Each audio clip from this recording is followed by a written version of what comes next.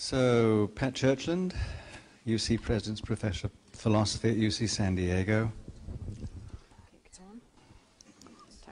wrote a seminal book in 1986 called Neurophilosophy, and most recently Brainwise, and has recently been writing a lot on choice, responsibility, and the basis of moral norms.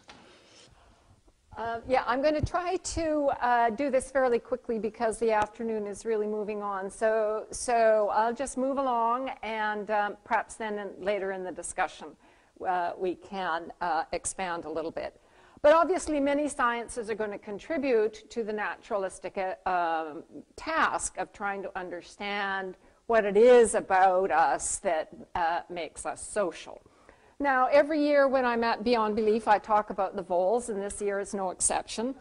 Um, but really, my interest in morality was, was sparked as a result of uh, the discoveries that were made by neuroscientists about the neural mechanisms for attachment. Hitherto, of course, neurobiologists had models that told us something about altruism, but I really wanted to, to sort of wait until we could see uh, what neuroscience might be able to offer. So let me just remind you again that there are various species of voles. Some are largely monogamous, the prairie vole, some are largely promiscuous. Um, of course, it has to be said that even though the prairie voles are largely monogamous, the males do, as the English say, like to get a bit of crumpet on the side. And I guess we now know from Sue Carter's work that the females like to get a bit of, shall we say, stud muffin on the side. But they do, they do like to live together. The males nest guard and they share parenting, and that's very different from the montane voles.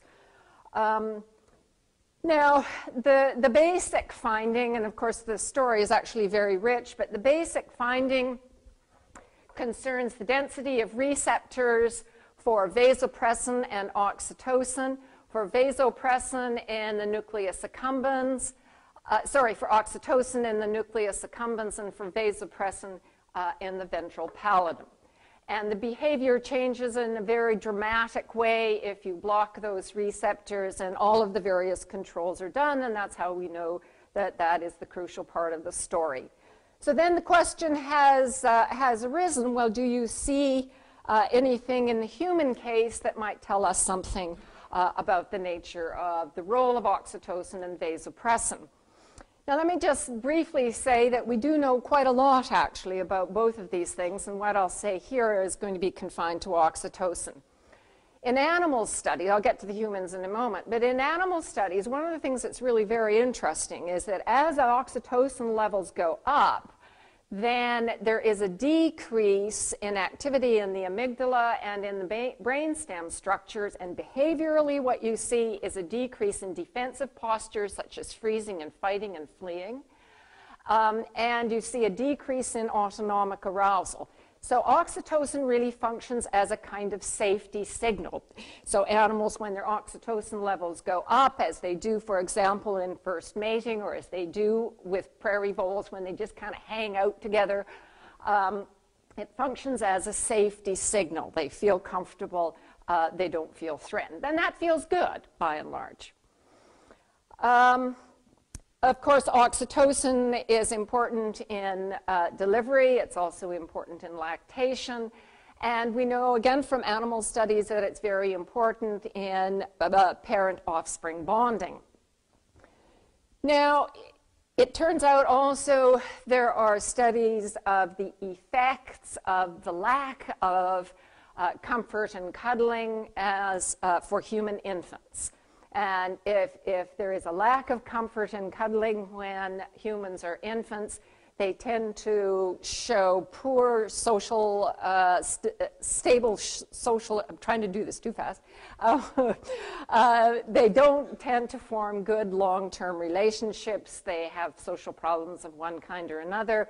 And in a rather heroic study, it has been found that, in fact, their oxytocin levels in sort of normal interactions with friendly, uh, familiar people are lower than they are uh, in controls. Now, all sorts of experiments have also been done where what you do is spray oxytocin in the nose and goes up through the olfactory bulb and into the system. And it's known that trust levels increase for example, in the investor game.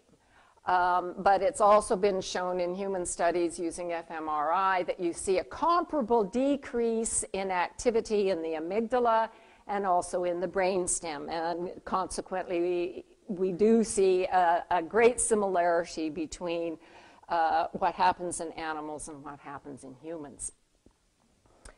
So, like Sam, I'm, I'm, sort of inclined to think that there are facts about values. And in particular, I'm inclined to think that the uh, second group of existentialists that Owen talked about, who said that the world itself is meaningless or valueless, and that we have to create values, that they were really quite wrong, that we're all born with these systems that are very deeply into the values business, and that values are much more fundamental uh, than many of the things that moral philosophers uh, tend to talk about. So the basic point is then that social attachment, and I think as I'm going to explain, that social attachment really constitutes the biological platform for morality in general. That, uh, what we know is that social attachment is mediated by, amongst other things, oxytocin, vasopressin, the density of receptors, but it's also mediated by dopamine and the endorphins, and there are probably other things uh, that are involved as well.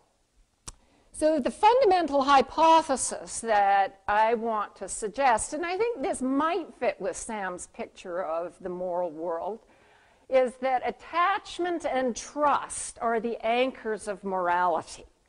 That we feel these strong bonds to children, to mates, to kin, and in the case of humans, of course, this can also be expanded beyond the immediate group and that these strong bonds, and we feel them throughout, um, are tuned up by the reward system so that we are sensitive to particular local practices and conventions. And we come to acquire, at least in the human case, but also I think in some animals, we come to acquire concepts like honest, fair, kind, friend, foe, and so on. Um, like all concepts, these are radial concepts in the sense that they have prototypes that are in the center, and then further out, uh, there are examples that are a little more uh, controversial or hard to classify, and the boundaries are fuzzy. So it's not like there are necessary and sufficient conditions for being honest. Rather, it's that there are certain prototypical kinds of cases that we teach children, we all agree upon, and then there are cases uh, that are further out. So between them, uh, the um, attachment and trust as regulated in the way I described and the reward system, I think what you've got is the motivation to do problem solving. And, two, and, and I guess I really do need to have a place in here for the, for the mirror neurons. It's just that I, I don't really think of the mirror neurons so much as a mirror neuron system as just part of the way the whole shebang works. Uh, but that's a slightly different story. But it seems to me then that, that humans, like other social animals, wolves, bonobos, uh, baboons, we have a powerful motivation to solve complex problems about how to get along. And that much of morality really does, and this is not new, this is just old Aristotle, that much of morality really has to do uh, with problem solving.